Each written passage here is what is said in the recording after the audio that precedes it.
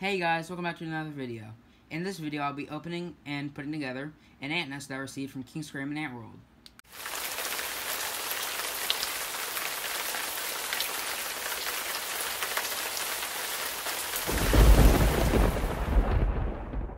How I got this nest was I entered a giveaway that they were hosting and I won. So now let's open up the package.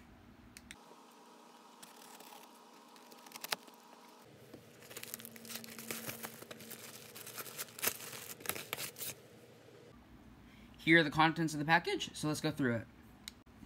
Here we have a thank you for the, entering the giveaway. It also came with this little feeding dish, which I really like. Here is a Bioformica microfeeder, and here's the actual nest. Also, there was a letter on the box, and inside was a thank you and stickers for the, their channel, King's Aquarium and Ant World, and King's Aquariums.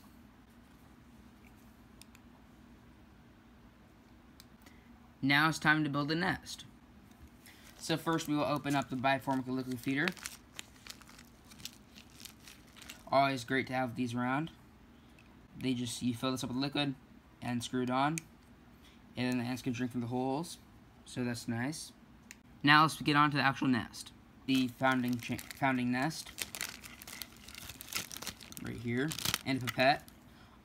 So this works as you get the pipette full of water spray the water in here. There's plaster to absorb the water. This is a little feeding area. You can just open and close that. And this is red.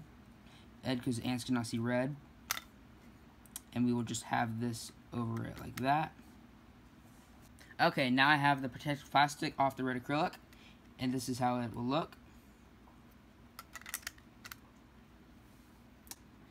The this is called the queen chamber. She will live in right in here. You can feed them through here. And you, you can hydrate the nest through here. So it's pretty much all one thing. Okay, and I'll start the video back up as soon as I'm done building the outworld. And here's what the outworld looks like completely put together. Oh yeah, and here's the lid. And I'm now I'm going to show you how this works. So, this slider, you slide them in, snaps into place, and there you have it.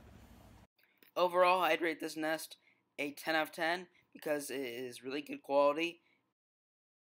Thanks again to King Aquarium and World. I really am happy I won this nest, and they will be put to good use. Thank you. Thank you to those who made it this far into the video. Don't forget to like, comment, and subscribe, and I will see you in the next video.